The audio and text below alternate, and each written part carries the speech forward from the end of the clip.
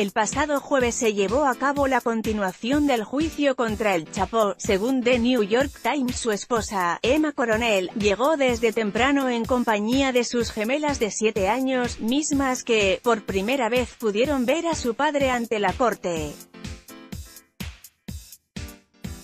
La imagen de las niñas no solo robó la atención del capo sino también de la prensa, debido a que las costosas vestimentas que ellas y su progenitora lucieron dejaron con la boca abierta a la prensa.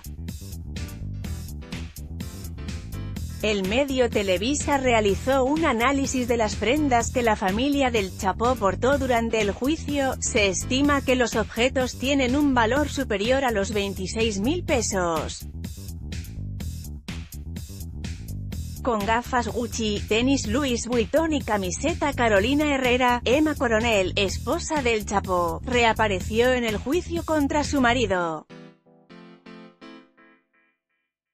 Las menores se presentaron en la corte con chaquetas blancas y tenis de la marca Burberry, cuyo precio es aproximadamente de 3.683 pesos cada par.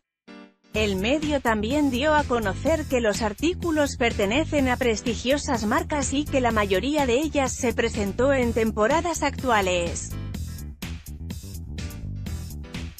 El periodista de The New York Times en español, Alan Fewer, señaló que el capo tenía casi dos años que no veía a sus hijas.